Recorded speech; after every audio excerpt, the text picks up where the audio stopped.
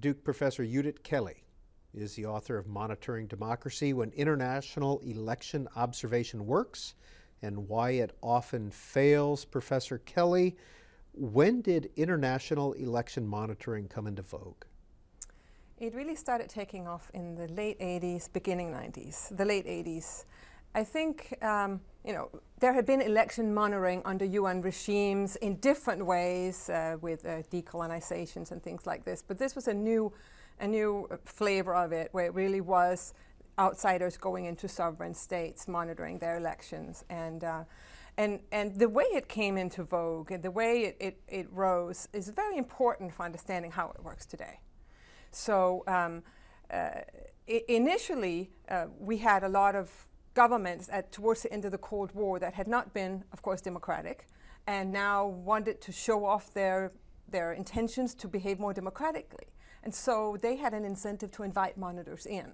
Uh, even even though this is sort of a sacred thing, it's it's the it's the heart of democracy. One could say it's the heart of sovereignty. But then to invite somebody in and say, "Are we doing our core exercise of electing our government the right way. They had incentive to do that because if they, uh, you know, they uh, oftentimes, uh, uh, especially towards the end of the Cold War, there were so many uh, of the old timers that continued into the new governments that they needed this external verification. Uh, and so invitations started to become more common to monitors. And, and as this was happening, this odd dynamic started happening where the ones that had no incentive to write monitors in the ones that were not uh, with honest intentions started looking obviously bad for not doing so. It became almost like a self declaration of cheating. And so you get this tipping where if you don't invite somebody in, now you look bad. And so now more and more countries start uh, inviting monitors in.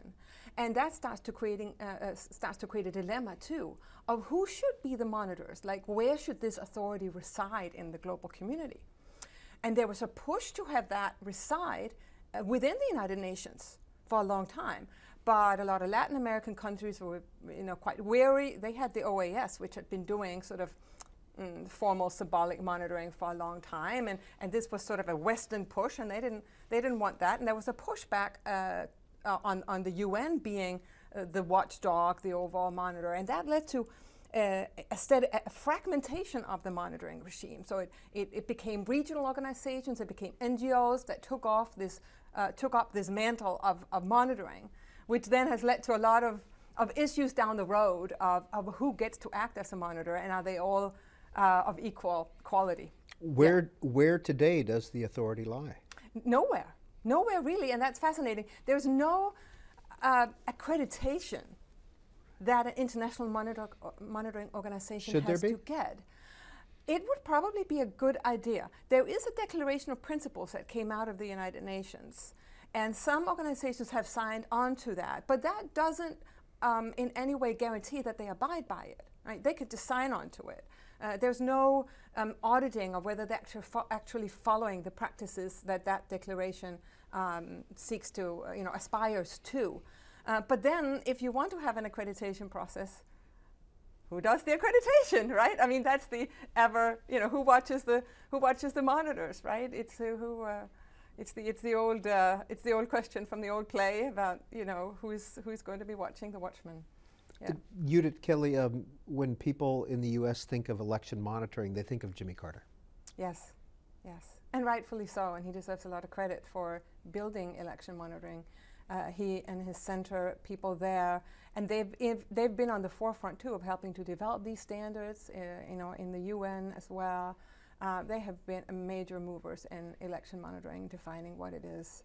Um, and Carter has done a lot of good work, but but it's important to understand there's no organization out there that has a complete ability to rid itself of any kinds of constraints, uh, you know, uh, impositions by concerns about donors. There are other operations within countries, etc. Even Jimmy Carter faces dilemmas about how to conduct his, his missions in different countries. So let's start. Where has it worked well? So it works best where it's least glamorous, shall we say, and that's a problem uh, from the perspective of organizations who are trying to thrive and survive. Um, you know, they, it's, it's uh, for some of these organizations their their livelihood or uh, is what they do. Even when they're within intergovernmental organizations, you've got sub agencies that that's what they do.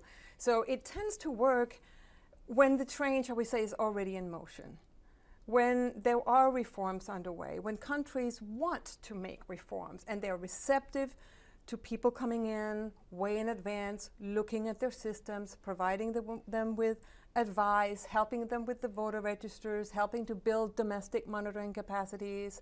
So this is not a revolutionary tool. It, it, it works on the margins, I would say, in places where there's not, you know, a, a conflict that's that's just been quelled. It may still be simmering. Conflict is like the worst setting for this type of election monitoring because the observers are so worried about stoking the violence further. So it works best when there's not a lot of conflict, when there's not like a winner take all systems where everybody has an incentive to, uh, you know, to, to, to, to, to push for, um, um, for winning everything. So in, in, the, uh, in the middle ground, in the middle countries that are trying to make advances, that's where it works best we all remember purple fingers from Iraq. Yes. Were there election monitors in Iraq? Um, or there have there been throughout their series of elections? It, it, it's not been a high profile thing in Iraq with the election monitors. There's been some, but it's not, it's not been a big issue there. Congo, 2007. I, am sorry, Kenya, 2007. Yeah, that was, that was a big, um, uh, you know, it's, it, it's, Kenya goes to show how you can make progress in one election and and then a, few years later the lack of follow-up or violence can have restoked and, and you can have a mess again. Um, so in uh, you know in in it's very very difficult to set a country on a on a path when I, we fixed it and and the, now they know how to run elections and it's just going to work and so in Kenya, it's been up and down with election monitoring, and um, it, it's not the election monitors' fault per se, but surely there, it's, it's a good example of where they've been very worried about being critical because of the violent potential if they if they come out and and condemn the elections. Um, yeah. Judith Kelley, what do you teach here at Duke? I teach uh, Introduction to Public Policy, Policy Analysis. I uh, help our undergraduates write honest theses and do research programs. And I also teach these types of topics like tools of international pressure, ways that external actors can promote domestic reforms in other countries or not. in Monitoring Democracy, you write, you can't vote That's anywhere right. yes. in the world. Yes. Why is that?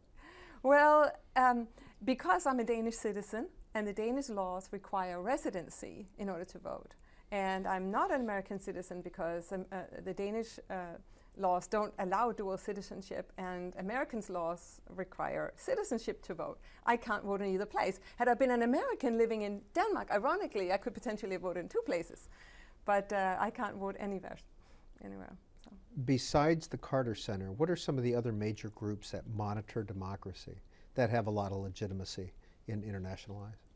So um, in the United States, people might be familiar with the NDI, the National Endowment, uh, the National Democratic Institute, the IRI, the International Republican Institute. These are, are um, agencies that are independent. Uh, they're not, you know, governmental. They're non-governmental organizations, but they sort of have a special status, um, and they uh, they do they do pretty good work. In Europe, we've got the OSCE, uh, we got various parliamentary um, organizations from the European Parliament, Council of Europe, um, that do monitoring. And of course, the European Union does a lot of monitoring. The UN still does monitoring, but not in the same sort of high flashing way. They don't come out with public statements a lot anymore. They do a lot of electoral assistance, um, and they do more in conflict setting support of other monitoring organizations. Um, but we're seeing organizations pop up all over the world now, uh, regional organizations in Africa, um, as the South African Development uh, uh, Community, um, different, uh, the African Union, of course, does uh, um, uh, election monitoring, the Commonwealth Secretariat, um, and even in Asia, we've got organizations like ANFREL and you know other organizations popping up. Um, you know which ones are the more credible ones? You know, it, it varies. Um, I, would, I would put my money mostly, I would say, on, I think the